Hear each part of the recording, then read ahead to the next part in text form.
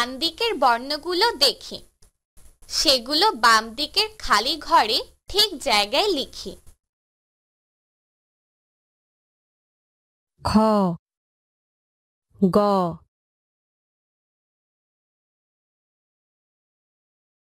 চ, ছ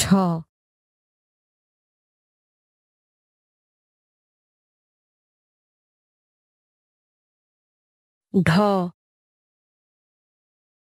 মূর্ধন্য ন ত। থ।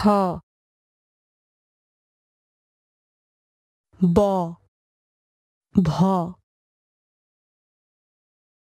অন্তস্থ জ বয়বিন্দু র